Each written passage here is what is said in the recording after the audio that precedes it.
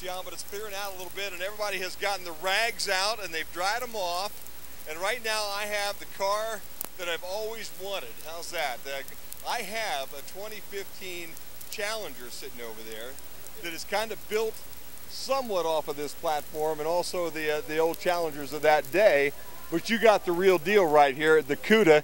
And I've got uh, Greg Stoutsman. Stutzman, yes. Stutzman. Mm -hmm. Greg, where are you from? Wauseon. Wauseon. Does it ever rain in Wauseon like this? Only when they clean the car. no doubt about that. Well, I'll tell you what, when you clean the car, this is a beauty. Tell me a little bit about this one, Greg. Thank you. Well, I've actually had it since 1976. I Have you really? Yeah, I traded off a 65 442 Oldsmobile for this car and uh, built it in 78. Then I turned around, tore it all apart about 20 years ago and complete, I mean, this thing's been dissected more than a frog.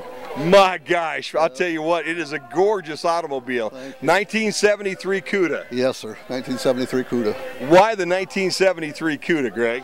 Well, I, it was my neighbor's car. She decided to sell it. I kind of fell in love with it. So that's just kind of how it all started. And somehow through all the all the trials of life, I held on to it. I think anybody that's kind of a close to our age, either one of our age right now, mm -hmm this 21, is a, 21. This, this, yeah, I'm 26. I'm a little older than you are. Okay, but if you if you got any age on you at all, this was a car you always wish you had. And it, I don't know about your case, but in my case, back in '73, my old man said, "No, you're not going to have a car like that." Well, that's kind of what I heard when the 442. It was it was hell on earth every day when I had that car. So after I got out of high school and and bought this thing, he didn't have much to say about it, other than shake his head, you know.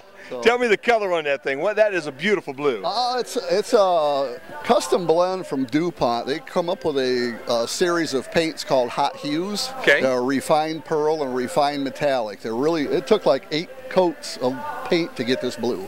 That's oh, how wow. transparent it's got. Really refined pearl and metallics in it. Took like eight coats of blue to get this blue, and it's close to the, I think it's B5 the number is from the factory yep. blue. It's real close to that, but I like this because of the shine. It's just a little bit different for being a custom car. And then I painted the stripes in black, and then I buried it in about eight coats of clear. Oh, wow. Did you do all the painting yourself? No, I got a buddy of mine, Brad Miller, here in Wauseon. He's been a body man for ever. Great, great guy, really good. One of the old tin men, sheet metal guys and yeah. stuff. He did, he did all the work body wise while we worked together, a lot of it, but he did all the work and painted it. And my designs, my creation and everything, and I come up with everything how I wanted to do it. But he followed, followed my lead on that, and then he turned around and took off with it, and uh, Brad made it look like it does. Man, he, he did a wonderful job. He, he really did, man. He a did. full restore all the way, top to bottom. Oh yeah, this thing's been cut up, dissected, new, new everything. Everything's everything's new.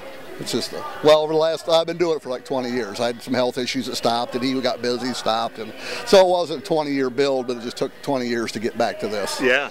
Tell so, me about with the power plant under that hood. Uh, 340. Uh, it's got 10 to it beefed up a little bit because in 73 they dropped the compression. You know, I, I took it back to like retro 69 when they had a more high performance 69 yeah. 70s. They put the 10 to 1 pistons in it and uh, put a cam in it and exhaust and jet hotted the whole exhaust so it don't rust out.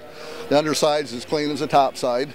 Um, it's it's about 385 horse. Wow. Uh, yeah. Automatic, 727 automatic, uh, eight and three quarter rear end. I might change that out yet.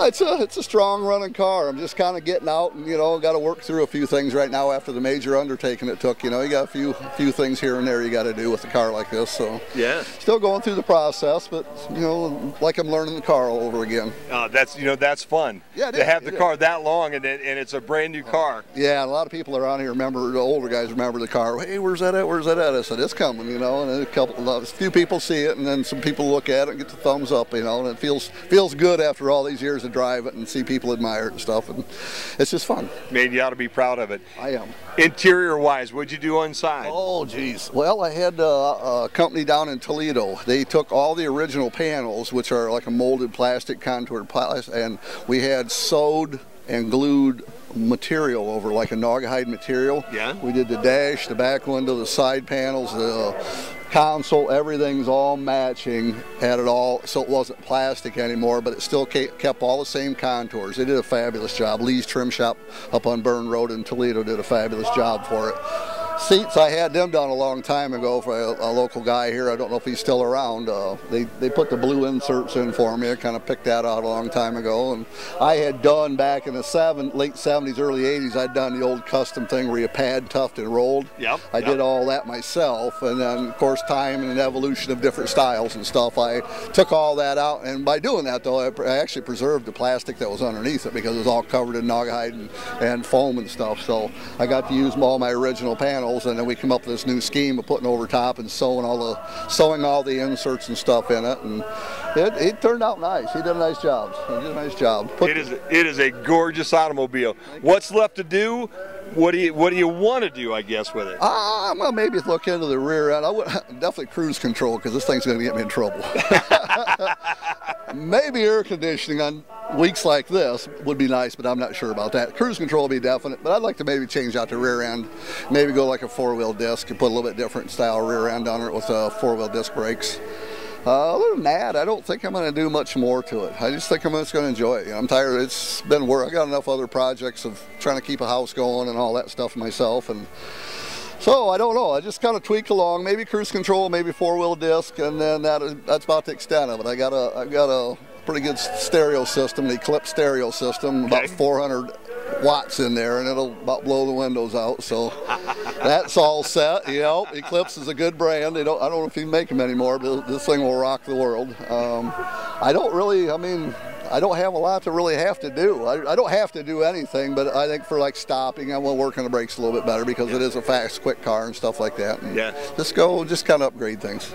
Last question, man. Is this ever going to leave uh, your possession, do you think? Well, a few people I think ought to be my casket, but uh, I don't know. I do have a daughter.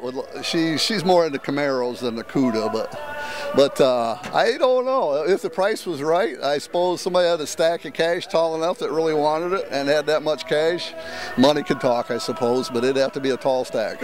no doubt about that. I agree with you 100%. Yeah. Hey, it's a beautiful 73 CUDA, Greg, and we thank appreciate you. you taking a little time and showing it off for us here today. Well, thank you for inviting me. This is this is kind of a nice honor of my own self after bringing it out and having an opportunity like this. I was kind of fortunate enough last week to go to Bryan to a car show, their cruise, yep. and the guy started snapping pictures, and I walked up. He goes, "Is this your car?" I said, "Yes." He goes, "You mind if I take pictures?" I said, "Well, obviously no, because yeah. you're taking them." He goes, "What I do is like Black Swamp. They paint their pictures. Okay. So he's okay. going to take all the photos he took because they had a reflection of the building and other cars. He's actually going to paint it on canvas or paint it on whatever I don't know material. Assume something like a canvas of some sort. Oh wow! He's going to actually paint it. Okay. So I'm kind of excited about seeing that. So two car shows. I got well, I was in a car show Memorial Weekend, got a trophy out of that. So yeah, it's kind of the first year back out here. It's been kind of a fun little deal. You know, got some you guys here taking time to enjoy my car as well and give me an opportunity to do this. And like I said, Bryan had a nice show and got a chance to have it painted up possibly and the trophy to go with it from the first one. So I just I'm just going to keep doing this, hopefully for a long time. Uh, hopefully I got a lot of years left to enjoy it after all the years of owning it and have to work on it. So Well, at 21, you got a lot of time ahead of you, You're right. You're right. 21 I do. It's just them damn anniversaries that's after that, you know? no doubt about that. We're at the Wauseon Car Show. We've weathered the storm. It's gorgeous out here right now, and we've got a gorgeous 73 CUDA, and we're here thanks to Brian Ford Lincoln, the main stops in Northwest Ohio, Case Beer Chrysler Dodge and Jeep, Whelen Automotive, and Culligan Sales and Service in Northwest Ohio.